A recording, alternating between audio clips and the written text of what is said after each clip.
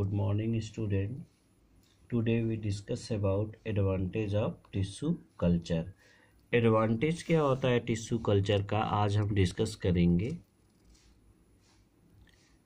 Advantage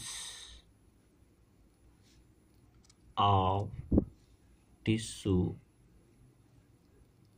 culture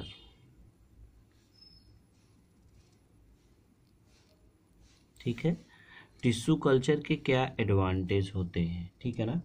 सबसे पहला tissue culture का जो एडवांटेज होता है, ये tissue culture is a very fast technique ये बहुत ही तेज़ टेक्निक होती है, जिससे हम थाउज़ेंड प्लांट्स को हम क्या कर सकते हैं? प्रोड्यूस कर सकते हैं। कहाँ पर? कुछ ही सप्ताह में, कम समय लगता है इसमें, ठीक है? और small amount of plant tissue को लेकर हम इसको टिश्यू कल्चर को क्या कर सकते हैं? डेवलप कर सकते हैं किसी प्लांट को। सबसे पहले क्या इसका क्या एडवांटेज होता है? Tissue culture is very fast technique ये बहुत ही तेज़ टेक्निक होती है। इससे न्यू प्लांट प्रोड्यूस होते हैं, ठीक है ना? और जो डिज़ीज़ फ्री होते हैं, ठीक है ना? ये फास्ट टेक्निक है। सबसे पहला एडवांटेज है it is it is fast technique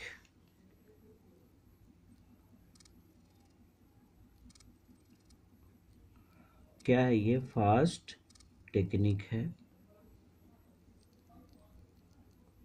ये फास्ट टेक्निक होती है। दूसरा है कि इससे हम डिज़ीज़ फ्री प्लांट प्राप्त कर सकते हैं। कैसे? यानी हम जो डिज़ायरेबल पार्ट होते हैं प्लांट को उनको लेंगे तो इससे हमको क्या मिलेगा? डिज़ीज़ फ्री प्लांट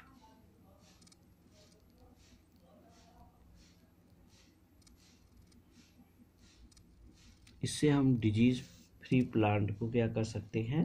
प्रोड्यूस कर सकते हैं। दूसरा टिश्यू कल, कल्चर का एडवांटेज ये होता है कि tissue culture can grow plant round the year. यानी एक साल में हम कई बार टिश्यू कल्चर के द्वारा प्लांट को क्या कर सकते हैं? ग्रो करा सकते हैं। और इसमें स्पेस कम लगता है, ठीक है? तो ये सारे जो टेक्निक हैं, ये एडवांटेज के अंतर्गत आती हैं। आज हम डिस्कस करेंगे इसके बाद, इसके अलावा अलग टॉपिक पे do organism create exact copy of themselves in asexual reproduction यानी किस प्रकार से इंडिविजुअल्स जो हैं, किस प्रकार से कोई भी इंडिविजुअल्स एक आइडेंटिकल कॉपी को कर लेता है ए सेक्सुअल रिप्रोडक्शन में? यानी हमें कह सकते हैं, यहाँ पे आपका जो आज का टॉपिक होगा do organism do organism create create exact copy exact copy copies of themselves.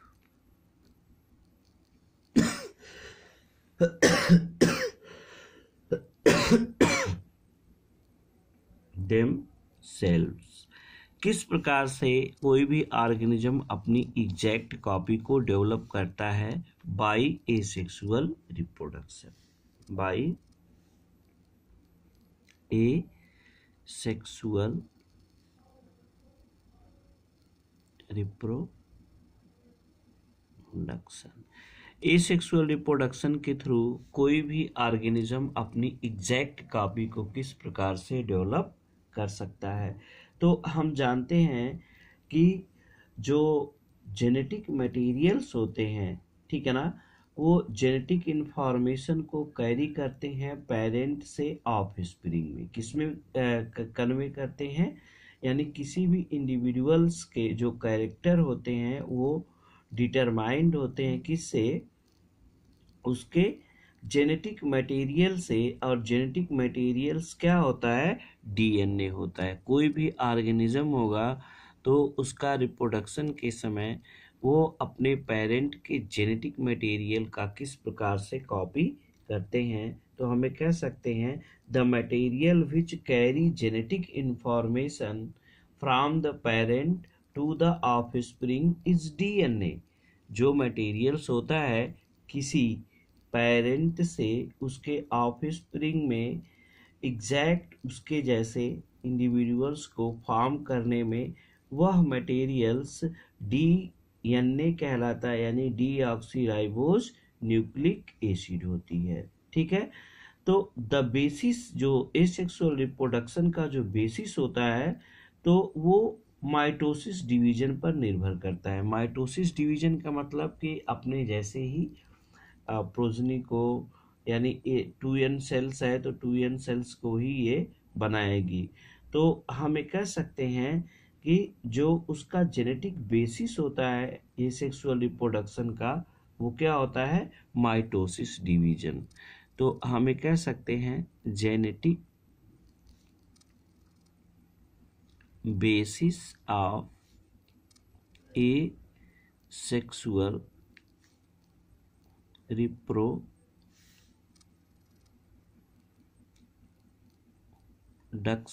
is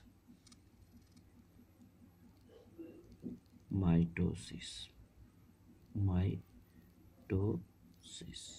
इसको हम माइटोसिस कहेंगे ठीक है ना और जो जेनेटिक इन्फॉर्मेशन कन्वे करता है, वो किस रूप में होता है?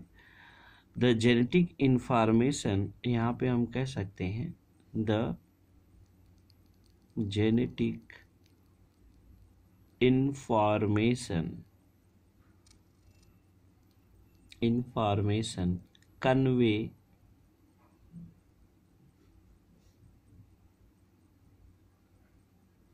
by parent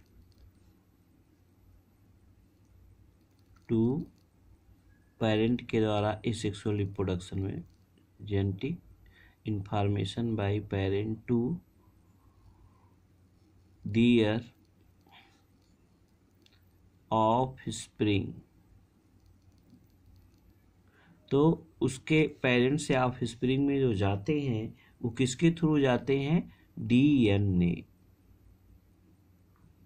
डीएनए तो डीएनए का पूरा नाम होता है डीऑक्सी राइबोज न्यूक्लिक एसिड तो डीएनए के फॉर्म में ये क्या कर सकते हैं? कॉपी करते हैं और यही जेनेटिक इन्फॉर्मेशन को ले जाते हैं, जिससे कोई भी इंडिविजुअल्स होगा, वो सिमिलर काइंड्स का होगा।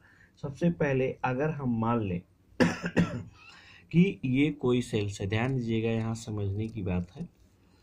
लाइक like दैट ये एक सेल्स है। ये क्या है? एक सेल्स है, ठीक है? और ये सेल्स का न्यूक्लियस है। ये क्या है? सेल्स का न्यूक्लियस सेल्स का न्यूक्लियस है, ठीक है? और इस न्यूक्लियस में ये डीएनए है।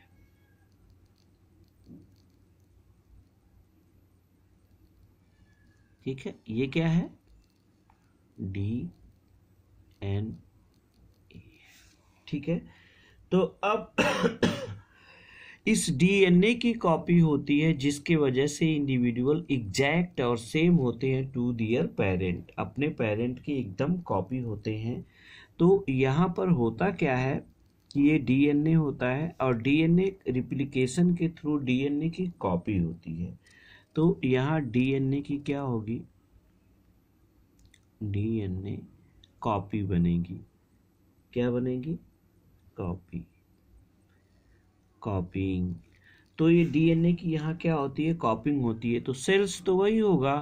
तो जब इसमें डिवीज़न होता है माइटोसिस डिवीज़न तो माइटोसिस डिवीज़न जब होता है तो सेल्स वैसे ही पड़ी रहती हैं और इसमें जो न्यूक्लियस होता है, उसकी कॉपी बन जाती है।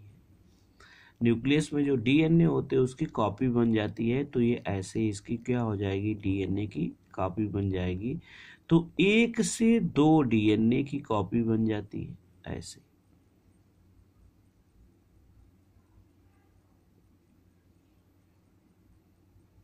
इस प्रकार क्या हो गए कि ये टू मालिक्यूल्स ऑफ़ डीएनए हो गए। क्या हो गए? यहाँ पे हम कह सकते हैं there is two molecules of DNA ये क्या हो गए? Two molecule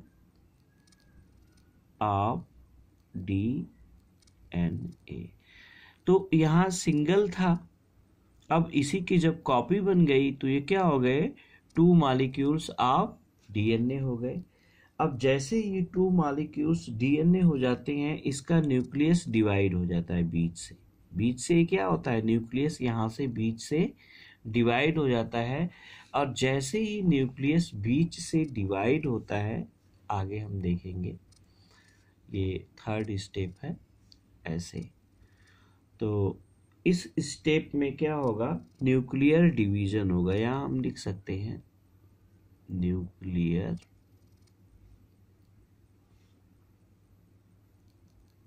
डिवीज़न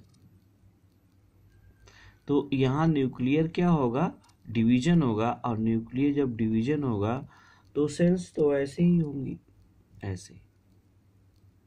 तो सेल्स का साइटोप्लाज्म कुछ इस प्रकार से होने लगता है, बीच में कॉन्स्टिक्ट हो जाता है ऐसे। ठीक है? और जब न्यूक्लियर का डिवीज़न हो जाएगा तो एक न्यूक्लियस से दो न्यूक्लियस बन जाते हैं ऐसे। क्या होते हैं? एक न्यूक्लियस से दो न्यूक्लियस हो जाते हैं तो यहाँ जब यहाँ पे न्यूक्लियस डिवाइड कर रहा है तो इसको कैरियोकाइनेसिस कहते हैं, और जो न्यूक्लियस डिवाइड करेगा तो एक सेट डीएनए का यहाँ पर हो जाएगा, और दूसरा सेट क्या हो जाएगा, यहाँ पर चला आएगा। ऐसे। ठीक है? तो ये यहाँ पर चला आएगा अब यहाँ न्यूक्लियस डिवाइड हो गया। बाद में ये चल कर क्या होता है कि ये पूरी सेल्स यहाँ से डिवाइड होती है। पहले न्यूक्लियस डिवाइड होता है, फिर क्या होता है? सेल्स का डिवीज़न होता है। तो सेल्स का जब डिवीज़न हो जाएगा तो ये एक सेल से दो सेल्स का फॉर्मेशन करती है, ऐसे।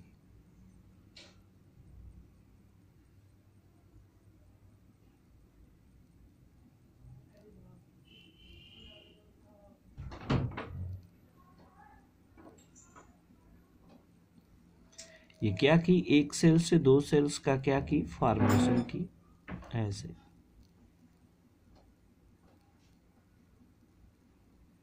अब एक सेल से दो सेल्स का फॉर्मेशन की और ये टू डॉटर सेल्स बनाई। कितनी बनाई? Two daughter cells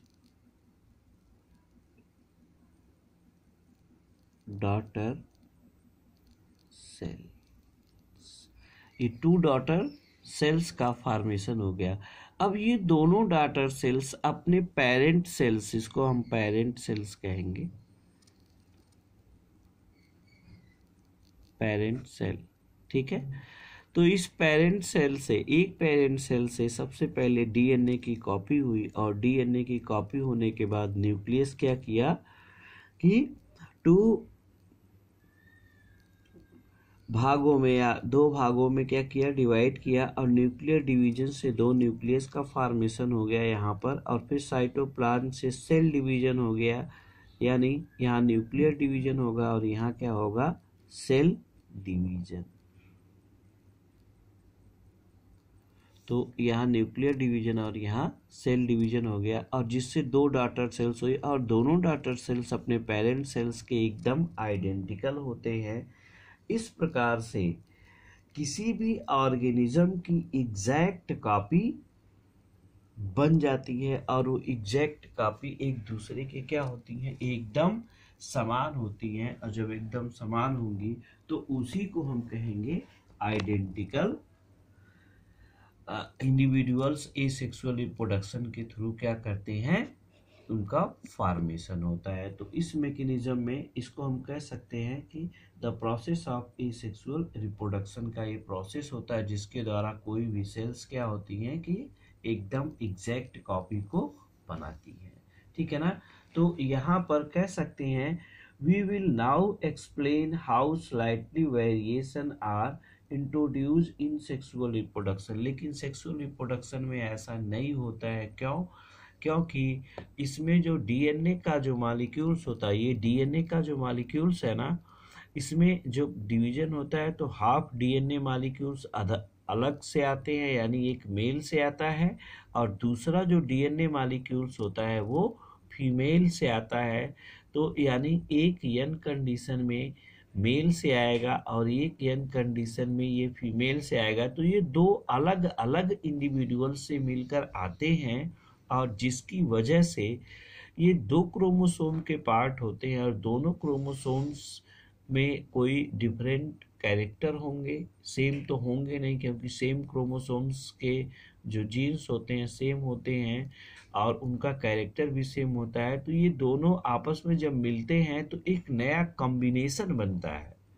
एक नया कॉम्बिनेशन बनता है जिसके थ्रू किसी भी इंडिविजुअल्स में जो टू एन कंडीशन होती है वह डीएनए का स्ट्रक्चर थोड़ा सा दोनों पेरेंट के कॉम्बिनेशन से बनता है डीएनए और वह डीएनए क्या करता है कि आ, उसमें जो ऑफ़ स्प्रिंग होती है थोड़ा सा वेरिएशन आ जाता है। कुछ पेरेंट के कैरेक्टर आ जाते हैं कुछ पैटर्नल कैरेक्टर यानी पिता के कैरेक्टर, फादर के आ जाते हैं और कुछ मैटरनल कैरेक्टर होते हैं, कुछ मदर से आ जाते हैं। तो इस प्रकार से सेक्सुअल रिप्रोडक्शन में ऑर्गेनिज्म क्या होते हैं? डिफर होते हैं, जबकि ए सेक्सुअल रिप्रोडक्शन में एकदम सेम एग्जैक्ट कॉपी होते हैं और जिसके वजह से ये एग्जैक्ट कॉपी होते हैं, इसीलिए ए सेक्सुअल रिप्रोडक्शन को क्लोन का नाम दिया गया। ठीक है? I hope you understand better ठीक है? अब ये चीज़ होती है कि अब जैसे सेक्सुअल रिप्रोडक्शन के थ्रू थोड़ी ना थोड़ी सी भिन्नता आ जाती है ऑफ़ स्प्रिंग में, उसके बच्चे में तो ये वेरिएशन क्या होता है? एक इम्पोर्टेंस शो करता है और वो इम्पोर्टेंस क्या होता है कि आगे चलकर फ्यूचर में प्रोजनी अपने आप को इन्वायरमेंट में एडजस्ट करे और फिर इसके बाद अपने स्पीसीज को कंटिन्यू करें और उसमें इम्प्रूव बार बार होता रहता है। तो यहाँ पे हमें कह सकते हैं कि ये टिश्यू कल्चर भी आपको समझ में आया होगा, ये सेक्सुअल रिप्रोडक्शन भी। और अब हम पढ़ेंगे sexual reproduction in flowering plant ये आपका नेक्स्ट टॉपिक होगा और इस नेक्स्ट टॉपिक को sexual reproduction in flowering plant में जो होता है इसको हम नेक्स्ट क्लास में स्टडी करेंगे और जब इसको नेक्स्ट क्लास में हम स्टडी करेंगे तो इसको देखेंगे किस प्रकार से हम पढ़ेंगे कि जो है सेक्सुअल रिप्रोडक्शन किसी फ्लावरिंग प्लांट में होता है तो इस चीज़ का डिस्कशन हम नेक्स्ट डे यानी कल इसका डिस्कशन किया जाएगा कि what is sexual reproduction in flowering plant ठीक है? तो इसमें आपका पॉलिनेशन भी आ जाएगा। तो sexual reproduction in flowering plant के बाद हम एनिमल्स में रिप्रोडक्शन के बारे में पढ़ेंगे। तब तक के लिए धन्यवाद।